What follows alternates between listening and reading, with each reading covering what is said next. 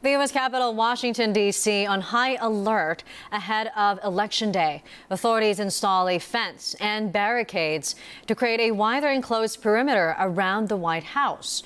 Workers were also seen installing fencing outside the U.S. Naval Observatory, which is the official residence of Vice President and Democratic presidential candidate Kamala Harris.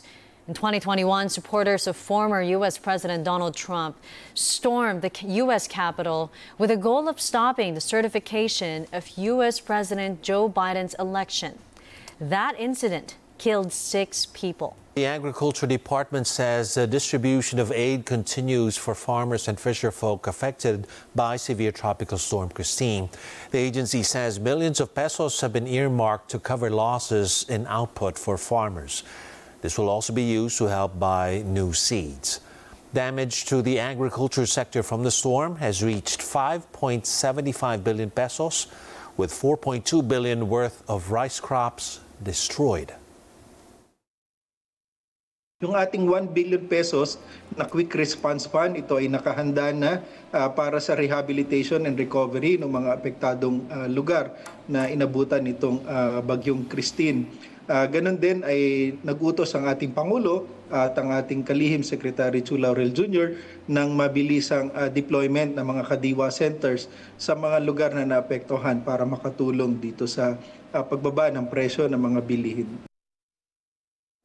The agency also says it is speeding up the release of the insurance claims for farmers' crops. Those insured could get up to 25,000 pesos each in two weeks' time digitalize na yung ating system magmula pa dun sa ating registry system. So identified na natin yung mga magsasaka at alam din natin kung sila ay uh, mga apektuhan pa sa pakikipag-ugnayan pa rin natin sa mga lokal na pamalan. So uh, in two weeks time, uh, pinamamadali na to ng ating kalihim na maibigay yung mga indemnification na pondo doon sa mga insured affected farmers. Mm. The Philippine State Weather Bureau cautioning residents of northern Luzon about the potential impact of Tropical Storm Marce. Pagasa warns Marce may bring heavy rain, strong winds, and storm surge as it gears up for landfall over the Babuyan Islands. Marce packs winds of 75 kilometers per hour and gusts of up to 90 kilometers per hour. Pagasa says signal number four is the highest possible warning to be hoisted. May mga ilang lugar, even na uh, simula po bukas, may posibleng mga pagbugso ng hangin na mararanasan sa Aurora, Quezon at Camarines Norte, some parts of the southern Luzon area.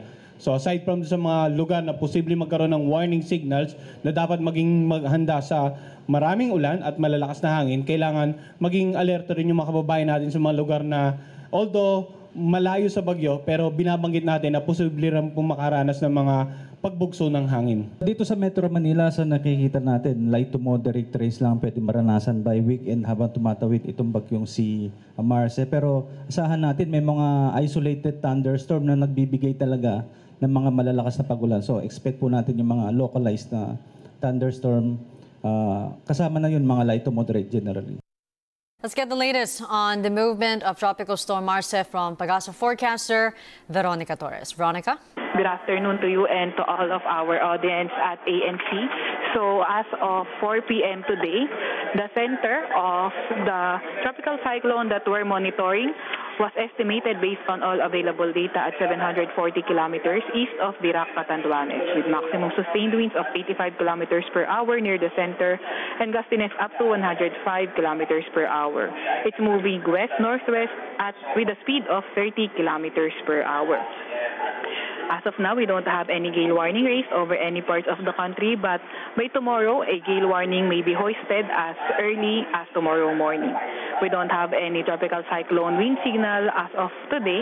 However, signal number one may be hoisted over the portions of Cagayan tonight or tomorrow morning. Signal number four is the highest wind signal that may be hoisted during the occurrence of Marce. Also, we're expecting that um, the possible landfall area of Marce is over Babuyan Islands, Babuyan Islands or mainland northern Cagayan on Thursday evening or Friday early morning. Also, rapid intensification is likely. And that's the latest from Pag-asa Weather Forecasting Center. Veronica Torres reporting. Thanks, Veronica.